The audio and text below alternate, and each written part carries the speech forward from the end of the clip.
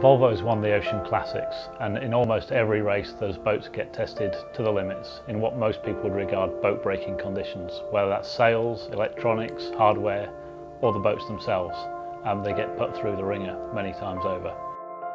To ensure that we build a product that meets that, we have to test it to those conditions first and we have to break it first.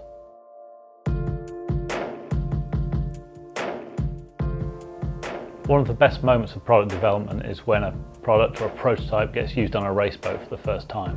And the fact that we call many of the world's greatest sailors our customers leads to a lot of job satisfaction. Most people assume that when we say made by sailors or designed by sailors, that means us. But in fact, it means sailors in the market that we deal with on a daily basis, whether that's professional racers in the Volvo Ocean Race, the Vendée Globe, TP52 sailors, or whether it's cruisers exploring the Antarctic or the Mediterranean or the Caribbean. It's their ideas that we take to develop products.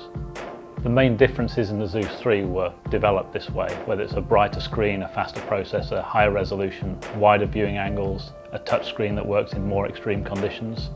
Everything we've done has come from the customers we serve.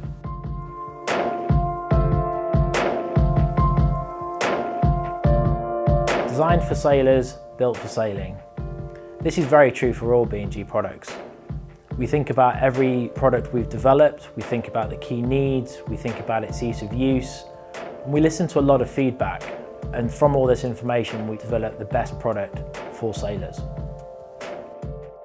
B&G understand the demands of sailors in two ways. One is simple, they tell us. We work with professional navigators, high-end sailors, and they bring their ideas to us um, just as much as we bring products to them. The second answer is we're sailors ourselves. We have a huge number of sailors in the team throughout the world, from racers to cruisers, multi-hull sailors, monohull sailors, from people who race seriously right through to family cruisers, which gives us a good perspective. To build a product for the Volvo Ocean Race, a lot of thought and effort goes into it.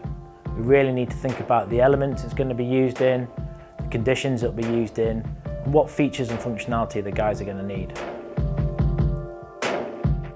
We take the most extreme cases of product usage that we can come up with and that we know exists in the market and then we over test the products during the design phase to make sure that they can meet that.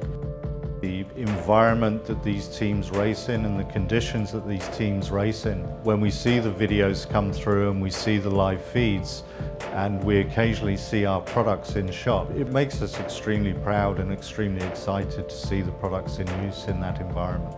B&G's been part of the Volvo Ocean Race since day one. We've been on board every single winning yacht. We listen to their feedback, so we get to feel to what, what they want and what they need along with our own experiences and, and we use that to develop the products.